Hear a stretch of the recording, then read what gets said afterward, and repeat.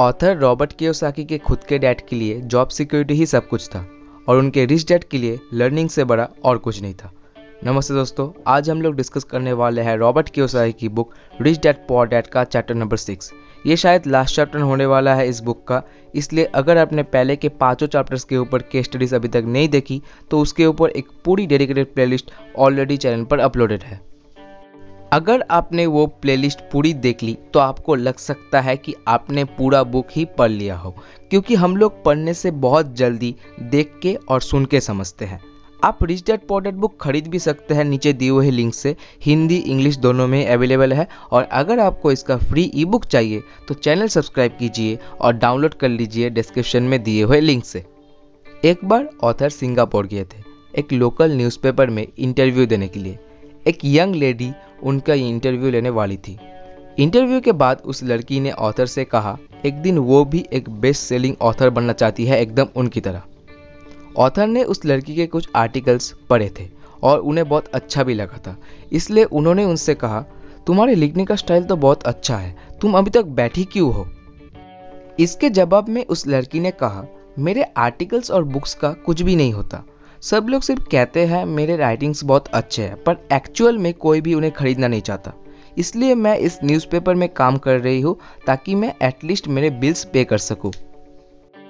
फिर उसने पूछा आप क्या मुझे कोई सजेशन दे सकते हैं? ऑथर ने कहा हाँ। मेरा एक दोस्त है यहाँ सिंगापुर में, जो सेल्स ट्रेनिंग देता है। तुम उसका सेल्स ट्रेनिंग कोर्स अटेंड कर सकते हो। वो कोर्स तुम्हें हेल्प कर सकता है तुम्हारे बुक की सेल्स इम्प्रूव करने में। ये सुनकर उसे बहुत गुस्सा आ गया। उसने ऑथर से कहा, आप मुझे स्कूल में वापस जाने के लिए बोल रहे हैं सेल्स सीखने के लिए? ऑथर ने कहा तो इसमें गलत क्या है? इसके जवाब में उस लड़की ने कहा, मैं इंग्लिश में मास्टर्स कर चुकी हूँ और आप मुझे फिर से स्कूल वापस जाने के लिए बोल रहे हैं सेल्स सीखने के लिए। मैं एक प्रोफेशनल हूँ और वैसे भी मुझे सेल्स पीपल बिल्कुल भी अच्छे नहीं लगते। वो लोग पैसों के सिवा और कुछ नहीं समझते और ये सब कहकर वो अपना ब्रीफ केस पैक करने लगी वहाँ से जाने के लिए।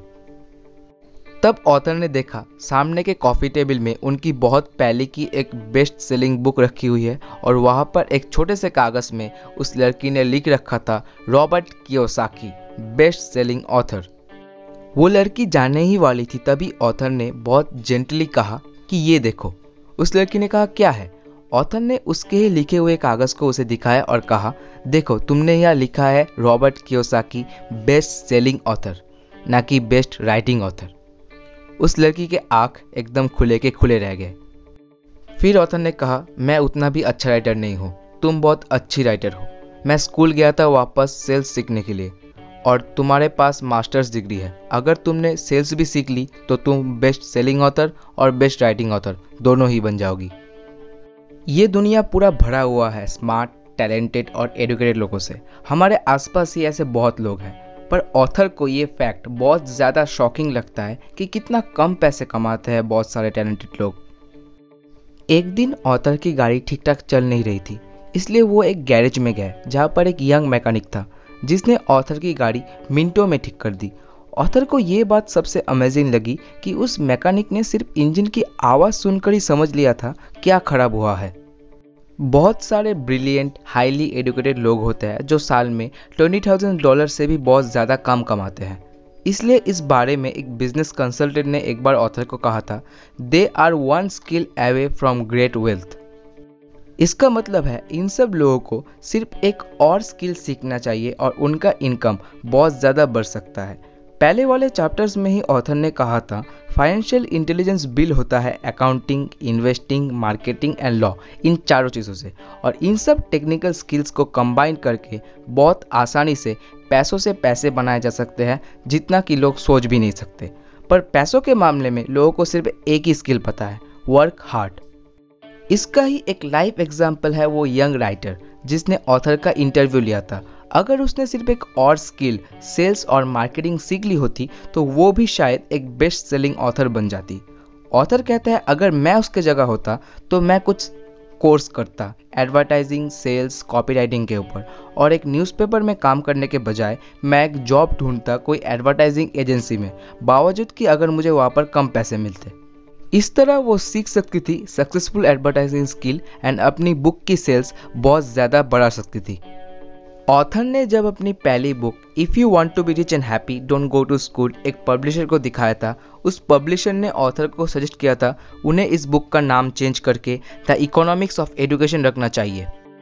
इसके जवाब में ऑथर ने उस पब्लिशर को कहा था, ऐसे टाइप के टाइटल से मैं सिर्फ़ दो बुक बेच पाऊँगा, एक मेरी फैमिली और मेरे किसी बेस्ट फ्रेंड को, वो भी फ्री में, क्योंकि ये बहुत ऑब्वियस टाइटल है।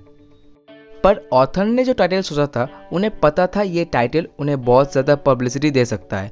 और इसके वजह से उन्हें बहुत सारे टीवी प्रोग्राम और रेडियो शोज़ में बुलाया गया था और वो बुक भी बहुत ज़्यादा सेल हुआ था। क्योंकि ये एक बहुत अच्छी मार्केटिंग स्किल थी।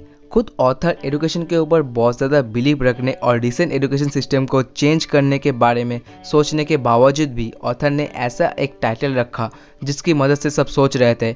ऑथर एजुकेशन के खिलाफ है। 1969 में author US merchant marine academy से ग्रेजुएट हुए थे। उसके बाद उन्हें स्टैंडर्ड ऑयल ऑफ़ कैलिफ़ोर्निया में जॉब मिल गया था। ऑथर कहते हैं, मुझे वहाँ पर बहुत ज़्यादा पैसे नहीं मिलते थे, पर मैं खुश था, क्योंकि ये कॉलेज के बाद मेरी फ़र्स्ट जॉब थी। और इस जॉब में ऑथर को पाँच महीने की छुट्टी भी मिलती थी। तो सब मिला के आप कह सकते हो, ये एक अच्छी करियर ऑप्शन थी। पर उसके बावजूद छः महीने के बाद ऑथर ने रिज़ाइन कर दिया और मैन क्रॉप्स ज्वाइन कर लिया। ऑथर के एडुकेटेड डैड को ये बात ठीक ठाक समझ नहीं आई।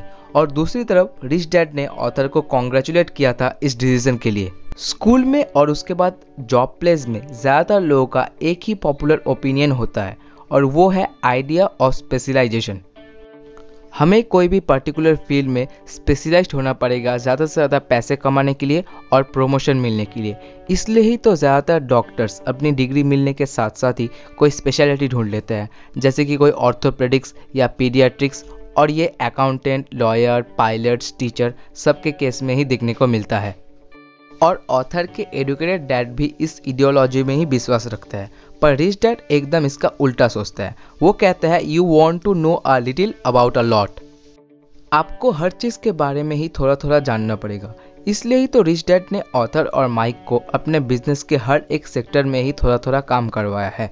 जैसे कि accounting department marketing department sales department ताकि वो पूरे बिज़नेस फ़ंक्शन के बारे में ही जान सके एक बिज़नेस कैसे चलता है। क्योंकि स्पेशलाइज होने से सबसे बड़ी दिक्कत ये आती है कि आप अपने फ़ील्ड के बाहर की दुनिया से पूरी तरह अनजान रहते हो और एक बिज़नेस रन करने के लिए आपको सभी फ़ील्ड के बारे में थोड़ा बहुत जानना पड़ेगा। पर यह बातें ऑथर के एडुकेट डैड को बिल्कुल भी समझ नहीं आती थी।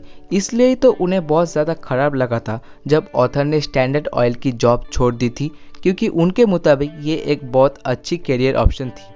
जैसा कि मैंने आपको वीडियो के शुरू में ही बताया था जॉब सिक्योरिटी ही सब कुछ था एडुकेटेड डैड के लिए और लर्निंग से बड़ा और कुछ नहीं था रिच डैड के लिए। इसलिए ही तो एडुकेटेड डैड सोचते थे ऑथर ने स्टैंडर्ड ऑयल में जॉब किया था शिप ऑफिसर बनने के लिए। पर रिच डैड जानते थे ऑथर ने वह जॉब किया था इंटरनेशनली ट्रेड सीखने के लिए।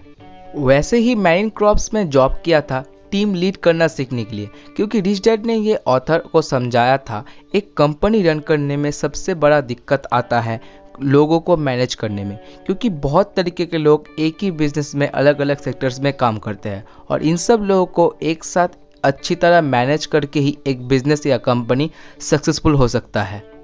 1973 में ऑथर जब वियतनाम वॉर से लौटे थे, उन्होंने मैरिन क्रॉप से रिज़ाइन कर दिया और जीरोक्स कॉरपोरेशन में जॉब करने के लिए घुस गए थे। पर इसलिए नहीं कि जीरोक्स में उन्हें बहुत ज़्यादा बेनिफिट मिलेगा। एक्चुअली ऑथर बहुत शाई पर्सन थे। इसलिए वो सेल्स सीखना चाहते थे, क्योंकि सेल्समैन बनने के लिए बहुत ज़्यादा कॉन्फिडेंस और पॉजिटिव एटीट्यूड चाहिए और आपको रिजेक्ट होने के डर को भी बहुत ज़्यादा कंट्रोल करना पड़ता है। और ऑथर जानते थे, ये सेल्स सीख कर ही वो अपने साइनेस और लोगों से बात करने के डर को बहुत ज़्यादा हद तक कम कर सकते थे। एंड जीरोक्स कॉरपोरेशन अपने एम्प्लॉयज़ के लिए one of the best sales training program run करता है अमेरिका में। ऑथर ने जीरोक्स में चार साल काम किया था, जब तक ना वो अपने डर को पूरी तरह ख़त्म कर पाए, और उन्होंने किया, और वो टॉप फाइव सेल्समैन के अंदर भी आए। उसके बाद उन्होंने वो जॉब भी छोड़ दी। क्योंकि अभी समय आ गया था एक्चुअल में कुछ करने का। ऑथर ने बहुत सारे जॉब करके बहुत कुछ सीखा था। अभी समय आ गया था उन सब लर्निंग्स को एक्चुअल में यूटिलाइज करने का। इसलिए 1977 में ऑथर ने अपनी फ़र्स्ट कंपनी बिल्ड करी और उनका पहला प्रोडक्ट था एक वॉलेट अगर उनका ये बिज़नेस फेल होता तो वो पूरी तरह टूट जाते। पर रिच ने उन्हें सिखाया था it is best to go broke before thirty क्योंकि तभी भी तुम्हारे पास समय होता है रिकवर करने का। पर लकीली उनका बिज़नेस ठीक ठाक चला और ऑथर आज भी इंटरनेशनली बिज़नेस करते हैं। ज़्यादातर लोग हमेशा ट्राई करते हैं एक सिक्योर हाई पेइंग जॉब पाने की, जो उन्हें शॉर्ट टर्म के लिए तो बहुत ज़्यादा बेनिफिट देता है, पर लॉन्ग टर्म में वो बिल्कुल भी अच्छा नहीं होता। इसलिए ऑथर रिकमेंड करते हैं, हमें ऐसी जॉब ढूंढनी चाहिए जहाँ पर हम लोग कमांड से ज़्यादा कुछ सीखें। ऑथर अपने स्टूडेंट्स को भी यही रिकमेंड करता है, हमेशा अपने लाइफ को एक लॉन्ग व्यू में देखो सिंपली पैसों के लिए काम करने के बजाय। एक दूसरी जॉब करो, नई स्किल्स बिल्ड करो, क्योंकि education is more valuable than money in the long run और अक्सर ऑथर जब लोगों को नए स्किल्स सीखने के लिए कहते थे, उन्हें हमेशा सुनने को मिलता था। हम सिर्फ़ वही काम करना चाहते हैं जिस काम में हमें इंटरेस्ट है। ये एकदम जिम जाने जैसा है। शुरू में तुम्हें जाने का बिल्कुल भी जी नहीं करेगा, पर एक बार जब तुम जिम कंप्लीट कर लोगे, तुम्हें बहुत अच्छा लगेगा। इसलिए लाइफ भी बहुत ज़्यादा जिम जाने जैसा है। सबसे मुश्किल पार्ट है जाने का डिसाइड करना। ऑथर ये भी पूछते थे अपने स्टूडेंट से कि तुम में से कितने सारे मैकडोनल्ड से अच्छा हैमबर्गर बना सकते हो। बहुत लोग ही हाथ उठाते थे। पर एक रीज़न जिसके लिए मैकडोनल्ड मिलियंस कमा रहा है और वो लोग नहीं, क्योंकि मैकडोनल्ड बहुत अच्छा है अपने बिज़नेस सिस्टम में। उसकी फ्रेंचाइजी और रियल एस्टेट कॉरपोरेशन के लिए ही वो नंबर वन है। इसलिए लोगों को भी समय देना चाहिए नए नए स्किल्स बिल्ड करने में, ताकि वो भी सक्सेसफुल बन सके मैकडोनल्ड की बिज़नेस सिस्टम की तरह। दोस्तों, आप ये मूवी द फाउंडर देख सकते हो मैकडोनल्ड के बारे में पूरी अच्छी तरह जानने के लिए। ये एक बहुत अच्छी ऑन्टरप्रिनोरियल मूवी है। पोअर डैड हमेशा ऑथर को सजेस्ट करते थे कोई एक पर्टिकुलर फ़ील्ड में स्पेशलाइज बनने के लिए। बावजूद कि ये आइडिया उनके खुद के लाइफ में ही काम नहीं किया था। और दूसरी तरफ़ रिच डैड हमेशा ऑथर को सजेस्ट करते थे बिज़नेस सिस्टम के हर एक डिपार्टमेंट के बारे में थोड़ा बहुत जानने के लिए, ताकि उन्हें पूरे बिज़नेस सिस्टम का ही एक ओवरऑल आइडिया मिल जाए। वर्ल्ड वॉर टू के बाद के जनरेशन के लिए एक कंपनी को छोड़ के दूसरी कंपनी में जाना खराब माना जाता था। पर आज के टाइम में इसे ही स्मार्ट माना जाता है, क्योंकि इससे आपको अलग अलग जॉब में अलग अलग काम करके बहुत नया कुछ सीखने को मिलता है, जो लॉन्ग रन में आपके बहुत ज़्यादा काम आती है। अभी चलो जान लेते हैं वो तीन मेन मैनेजमेंट स्किल्स जो आपको जानने चाहिए सक्सेसफुल बनने के लिए। Number one management of cash flow number two management of systems and number three management of people sales and marketing सबसे इंपॉर्टेंट स्किल है जिसमें आपको स्पेशलाइज्ड होना चाहिए। यह स्किल बहुत लोगों को मुश्किल मालूम पड़ता है। उनके रिजेक्ट होने की डर की वजह से। पर जितना ज़्यादा आप अपने रिजेक्ट होने के डर को काबू कर पाओगे, लोगों के साथ कम्युनिकेट कर पाओगे, उन्हें नेगोशिएट कर पाओगे, आपकी लाइफ उतनी ही ईजी हो जाएगी। और इन सब स्किल्स को इम्प्रूव करने के लिए ऑथर आज भी काम कर रहे हैं बहुत सारे कोर्सेज अटेंड करके और ज़्यादा से ज़्यादा बुक्स रीड करके। एक असली अमीर इंसान बनने के लिए आपके पास लोगों को देने की मतलब उन्हें हेल्प करने की एबिलिटी होनी चाहिए, जिसका एक ग्रेट एग्ज़ाम्पल है सर रतन टाटा। ऑथर के डैड भी यही कहते हैं to be truly rich we need to be able to give as well as to receive इसलिए रिच डैड बहुत ज़्यादा पैसे चर्च चैरिटीज़ और अपने फाउंडेशन में देते थे क्योंकि उन्हें पता था, अगर उन्हें ज़्यादा से ज़्यादा पैसे चाहिए तो उन्हें ज़्यादा से ज़्यादा पैसे देने भी पड़ेंगे। और ये दुनिया के बड़े बड़े अमीर लोगों का, और भी ज़्यादा अमीर होने का सीक्रेट भी है। वो लोग भी अपने फाउंडेशंस की मदद से बहुत ज़्यादा पैसे डोनेट करते हैं। पर दूसरी तरफ़ पोर डैड सोचते थे, जब उनके पास थोड़ा ज़्यादा पैसा होगा, तब वो डोनेट करेंगे। पर प्रॉब्लम तो ये था, उनके पास कभी भी एक्स्ट्रा पैसे नहीं होते थे। इसलिए वो और भी ज़्यादा हार्डवर्क करते थे, ज़्यादा पैसे कमाने के लिए। बजाय पैसों के मेन रूल को जाने give and you shall receive वो बिलीव करते थे receive then you give book के लास्ट में ऑथर बस यही कहते हैं, उनके दोनों डेट से ही उन्होंने बहुत कुछ सीखा था। वो एक तरफ़ एक कैपिटलिस्ट थे, जिन्हें पैसों से पैसे बनाने के खेल में बहुत ज़्यादा मज़ा आता था, और दूसरी तरफ़ वो एक सोशली रिस्पॉन्सिबल टीचर भी थे, उनके एडुकेटेड डैड की तरह। तो दोस्तों पॉर डैड के चैप्टर सिक्स से हमने क्या क्या सीखा? नंबर वन ज़्यादातर टैलेंटेड लोग सिर्फ़ एक स्किल दूर रहते हैं सक्सेस पाने से। अगर वो सिर्फ़ एक और स्किल डेवलप कर ले तो वो अपने करियर में एक अलग लेवल में पहुँच सकते हैं। जहाँ पर हमने एक यंग राइटर की स्टोरी देखी। नंबर टू हमें कोई भी चीज़ में स्पेशलाइज नहीं होना चाहिए। हमें सब फ़ील्ड के बारे में ही थोड़ा बहुत जानना चाहिए। क्योंकि अगर हम लोग स्पेशलाइज हो गए किसी चीज़ में तो हमें उसके ऊपर ही पूरी तरह डिपेंड रहना पड़ेगा। नंबर थ्री और सबसे मेन चीज़ है work to learn don't work for money कभी भी पैसे के लिए कोई भी जॉब मत करो। ऐसी जॉब ढूंढो, जहाँ पर आप बहुत कुछ सीख सको। क्योंकि लॉन्ग रन में लर्निंग ही आपके सबसे ज़्यादा काम आएगी। नंबर फोर अगर आपको असल में अमीर बनना है तो आपको पैसे देने पड़ेंगे और भी ज़्यादा पैसे कमाने के लिए। और सिर्फ़ पैसे ही नहीं, आप और भी कई तरीके से लोगों की हेल्प कर सकते हो। दोस्तों, अगर आपको रिचर्ड पॉडेट का फ्री ई बुक चाहिए तो चैनल सब्सक्राइब कीजिए और डाउनलोड कर लीजिए नीचे दिए हुए लिंक से। और आप ये बुक मेरे लिंक के थ्रू अमेजोन से खरीद भी सकते हैं। हिंदी इंग्लिश दोनों में ही अवेलेबल है। अगर आपको ये केस स्टडी अच्छी लगी तो वीडियो को लाइक करें, अपने दोस्तों के साथ शेयर भी ज़रूर से करें, और डिजिटल पॉडेट की पूरी प्लेलिस्ट देखें, सब कुछ पहले से समझने के लिए। हम मिलेंगे अगले हफ़्ते न्यू बुक इकिगाई के साथ। तब तक चैनल सब्सक्राइब करें और सीखते रहे, सिखाते रहे।